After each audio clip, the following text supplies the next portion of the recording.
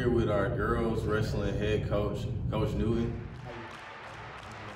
I'm, y'all just came off of a state win, and you are the first Yeah. head coach to win a girls dual state championship. How does that feel? Man, it feels great. Um, proud of the girls, obviously, but yeah, they had a lot of pressure on them that we didn't put on them. But just you know, it being the first one ever, we knew we had a good shot. But they, uh, yeah, very big moment, and it, it was pretty cool to be a part of that. It's something you know. There's going to obviously be other state ch- state dual teams that win it, but this is something nobody can ever take from. them. They're the first ones to ever do it. That's a big deal, man. I was there. It was truly a special moment to see. I'll never surrender.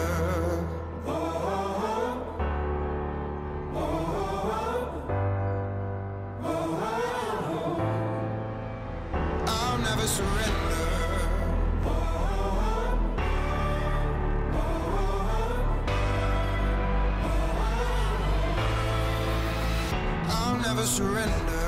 Not going down. I'm gonna stand my ground till the final hour, till the fight is over. Gonna soldier on, cause I'm an army of one. Gonna feel my till the fight is over. Till the fight is over. I'll never surrender.